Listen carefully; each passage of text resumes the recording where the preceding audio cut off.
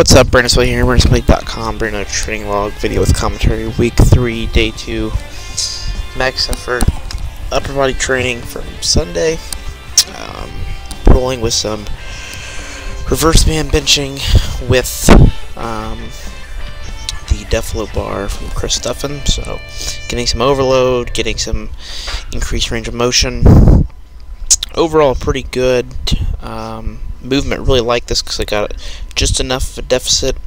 Um, the way I have the band set up, it's not a drastic amount of overload. It's uh, nothing too um, too terrible, but it's enough for me to get a good amount of weight in my hands. And after working up where the bar started to slow down, was about where I needed it, which was about two to two and a half inches off the chest. Um, I do really well off the chest, so my thought process with this going in um, was that the increased camber is going to increase the time under tension, which means my press is actually going to have to be longer, um, making me have to continue to press faster. And then with the obviously the reverse bands, the light or the load getting heavier as the resistance goes up.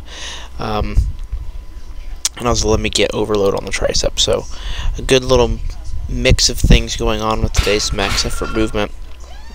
As you saw, I had 360 for my top triple, and then that last set was 305 for 10. Um, then went with some shoulder saver work for sets of six up to a pretty much pretty much a very very top end set of six. The six rep on this 320 was not the prettiest. Um, but I went for 320 instead of 315 because I had already done 315 for 6 and I remember that that was ugly as well so we went for a little PR attempt. Uh, but probably came up and uh, wasn't the prettiest but it moved so um, training PR sometimes aren't the prettiest.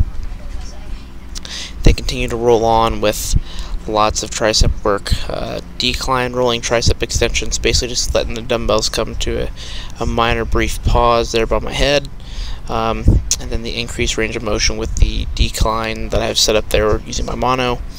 Um, really a nice change of pace for a, a movement that I really like. Um, some Tate presses, so last week I did these off an incline, this week I went with a flat position. Four sets of 12. Um, these are really tough. These are something I've got to keep rotating in uh, every couple weeks and trying to progress on them. Um, they're they're certainly tough, but they attract my triceps right where they need to be attacked at um, in terms of where I stall my bench. And then I had some um, some reverse pec decks or so with the um, bands. So it's basically a poor man reverse pec deck. Four sets 20 just for some health, and then had some press downs, some abs, and that was it. Thanks for checking in, and you can keep up with the rest of my training and logs over at EliteFTS.com.